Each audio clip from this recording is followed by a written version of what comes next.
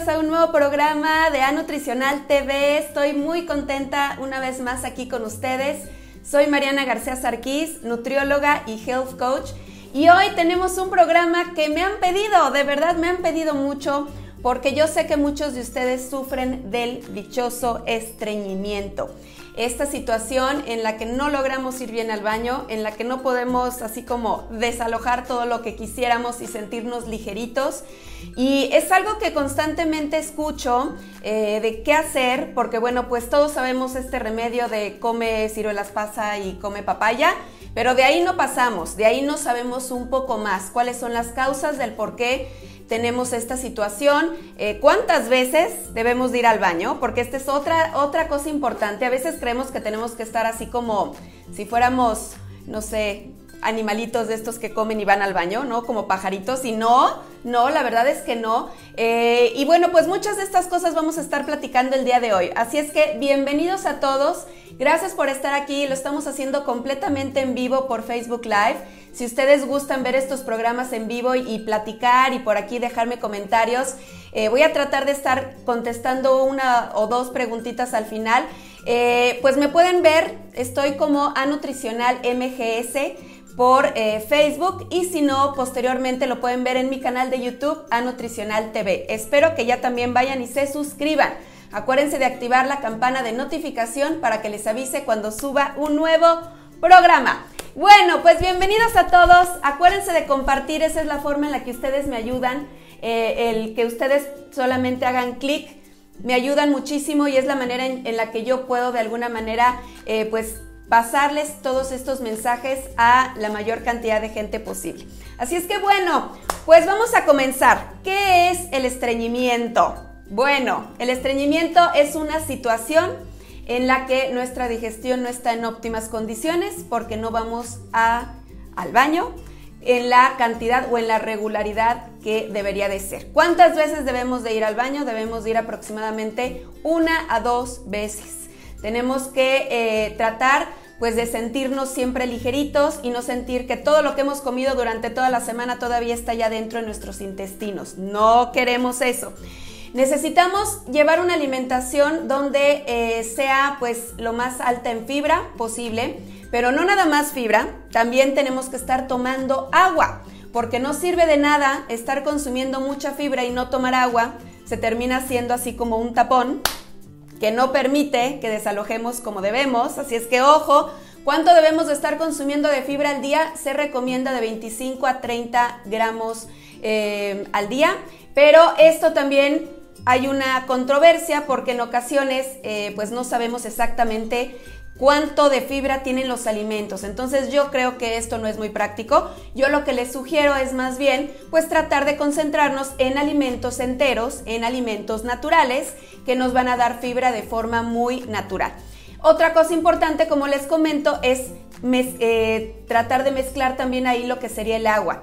Tratar de tomar por lo menos dos litros de agua. Esto también a veces me dicen, bueno, pero se supone que yo debo de tomar solamente cuando tengo sed. Sí, pero en ocasiones estamos acostumbrados a no tomar agua y no tenemos sed todo el tiempo. Yo les puedo decir que yo todo el tiempo ando con mi botellita para todos lados eh, a veces hasta, no sé, mi esposo, mis hijos se burlan de que ando con la botella cargando, eh, bueno, hasta casi casi al baño, pero esto es porque yo ya me acostumbré a estar tomando agua todo el tiempo y sí llego a tomar de 2 a 3 litros de agua más o menos al día. Si ustedes hacen mucho ejercicio y están sudando mucho o viven en lugares donde están eh, también sudando por la cantidad de calor, sí tenemos que estar consumiendo 3 y cuando estamos estreñidos más. Pero bueno, vamos a empezar por lo que son las causas. ¿Por qué es este, esta situación del estreñimiento? ¿Qué es lo que nos lleva a sufrir de este? Número uno es cuando estamos consumiendo una alimentación altísima en alimentos procesados. Cuando nuestra sopa se torna en este tipo de sopas.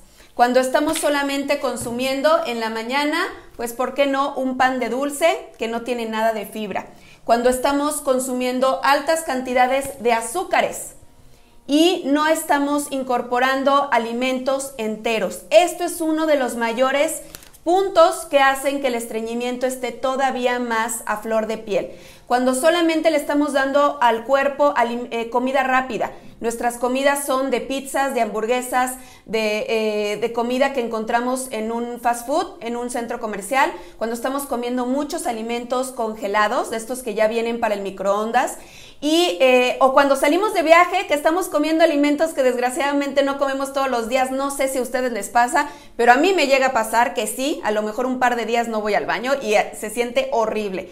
Entonces, esto es uno de los puntos mayores del por qué yo tanto abogo por la alimentación entera o la alimentación limpia, donde estamos comiendo alimentos de verdad, no todos estos alimentos que están elaborados en una industria y que no van a tener fibra porque se las quitan prácticamente y dejan solamente lo que es la harina refinada y los azúcares.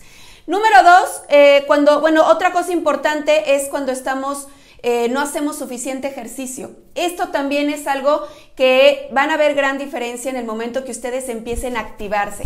Cuando estén haciendo caminata, cuando estén haciendo bicicleta, cuando estén en movimiento. El intestino trabaja a través de movimientos peristálticos que nosotros no tenemos ningún control y digamos que está empujando toda la materia fecal, la popis, la está empujando para que llegue hasta eh, nuestro recto, hasta el ano, y ahí podamos ya desalojar. Pero a veces cuando no hay suficiente eh, ejercicio o movimiento, estos movimientos peristálticos son como más lentitos, como que se vuelve flojo, así como le llaman intestino perezoso. Y esto tiene mucho que ver también con la falta de movimiento. Así es que esto también va a ser importante y es otra de las causas.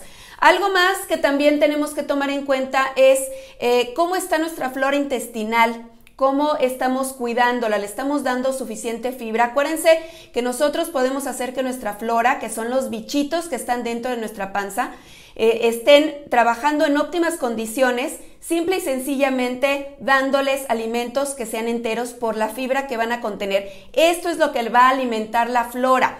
Y además, bueno, si ustedes pueden, ¿por qué no también estar consumiendo probióticos? Estos los vamos a encontrar en muchos alimentos que ya vienen fermentados, en el vinagre de manzana, lo vamos a encontrar también en todo lo que son eh, pues frutas y verduras también nos ayudan muchísimo. Y bueno, pues pueden ustedes también consumir los probióticos en forma tomada. En GNC hay de muchas marcas, también eh, su médico les puede recetar algunos pues que sean de forma tomada, pero yo sí les recomiendo buscar las mejores opciones y que vengan en billones, no en millones, sino en billones de lactobacilos y de ácido bacilos. Entonces, esos son buenos. Ahora, ¿qué es lo que ustedes deben de hacer? ¿Qué deben de comer? Además de la papayita y de las eh, eh, Eh, ciruelas pasas, se me fue la palabra, porque a veces creemos que tenemos que comernos una papaya entera porque por más que no vamos al baño, sí es una buena opción, sí tienen todos estos beneficios, la papaya y la ciruela pasa, pero también hay otros que podemos nosotros utilizar de una forma maravillosa. Número uno, van a ser los dátiles. Los dátiles también ustedes los pueden incorporar en sus Nutrismoothies. Son frutitos que son chiquitos, no son tan grandes, una cosita así, van a endulzar muchísimo, le van a dar ese dulzor a sus licuados y vamos a estar ahí consumiendo fibra. Otra cosa que también nos puede servir muchísimo es la avena. Avena, que ustedes saben muy bien que yo todo el tiempo se las recomiendo. Consumir avena frío, avena caliente. Les voy a dejar la liga de varias recetas cuando terminemos el programa para que ustedes la hagan, la preparen. Pueden ponerle avena a sus Nutrismoothies, una o dos cucharadas sin ningún problema. Y esta va a tener una fuente increíble de fibra. No se diga, no se diga, la chía. La chía es esta semilla chiquitita que se va a hidratar en el contacto, cuando esté en contacto con agua y va a duplicar o triplicar el tamaño, su tamaño, porque va a guardar eh, líquido. Y esto lo hace una maravillosa opción para el estreñimiento. Yo les recomiendo consumir dos cucharadas de, chía, se la pueden mezclar a su agua o agüita de limón, pero también podemos hacer nutripudines como la imagen que les dejé y ya de hecho les dejé también aquí la receta en la parte de arriba si lo están viendo por Facebook Live o en la descripción de este programa en YouTube de un nutripudín de chía y mango buenísimo ahorita que estamos en época de mango. Solamente necesitan leche de coco, su chía y mango. Suficiente, lo van a dejar hidratar por unas horas y buenísimo. Esta chía es una opción increíble. Créanme que es de las semillas más ricas en fibra que existen y les va a servir mucho. Eh, la linaza también es otra opción, también es muy, muy rica en fibra. Eh, las semillas de cáñamo, inclusive las hemp seeds, que también mucho les pongo yo en mis recetas, estas también de verdad son maravillosas. Exacto, Alma, la mermelada de chía que ya también les compartí. También les voy a dejar la receta para que la vean. Y esa con un pancito integral orgánico es una delicia. Pero como les comentaba, las semillas de cáñamo también van a tener fibra. Y además de que también van a tener proteína, pues también son una excelente opción. Todo lo que son sus licuados, son sus Nutri-Smoothies, si ustedes le incluyen hojas, puede ser hasta lechuga, puede ser espinaca, hojas verdes. Esto le va a dar también un extra punch de fibra para sus Nutri-Smoothies. No se diga si le ponemos avena, si le ponemos linaza, si le ponemos nueces, todo esto también va a tener fibra y va a ser, bueno, increíble. Eh, lo que también les quería decir, por ejemplo, en los Nutrijugos, ven que yo normalmente les recomiendo ponerle manzana o, eh, pera, perdón, la cáscara se le van a poner tal cual entera a los Nutrijugos y aunque nosotros le vamos a quitar la fibra, Sí, vamos a estar obviamente utilizando un extractor de jugos, que esa es la idea siempre. No queremos la fibra eh, insoluble, que es el bagazo. Va a tener una fibra que es la fibra soluble. Eh, ¿Ok? Y esta fibra soluble, que es la pectina, nos va a ayudar increíble en la digestión. Así es que no se preocupen de pensar que el nutrijugo no tiene fibra, porque sí la tiene, solamente que es una fibra soluble que ustedes van a estar consumiendo.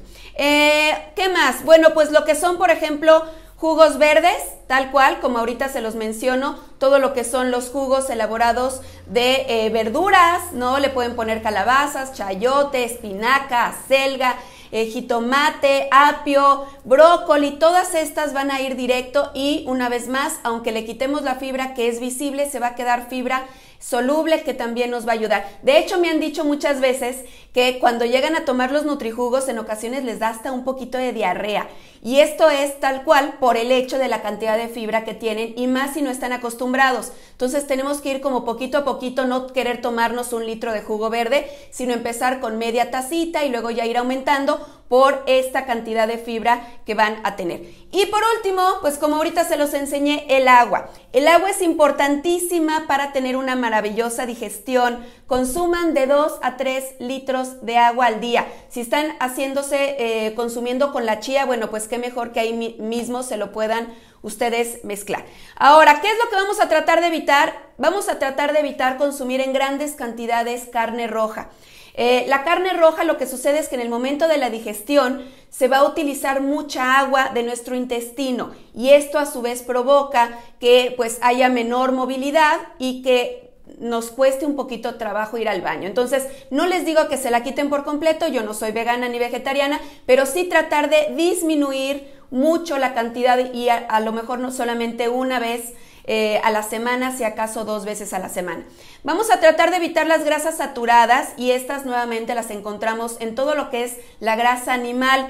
Cuiden quitar todos los pellejitos, todos eh, los nervios, todo esto que es una grasa visible. Vamos a tratar de quitarla porque también puede provocar el estreñimiento. Vamos a evitar lácteos. En los lácteos, como ustedes saben muy bien, también hay grasas saturadas y los, los lácteos también pueden provocar estreñimiento. Cuando estamos tratando de quitarlo, tenemos que quitar lácteos, quesos, cremas, leches, mantequilla, todo esto, evitarlo o consumir una menor cantidad.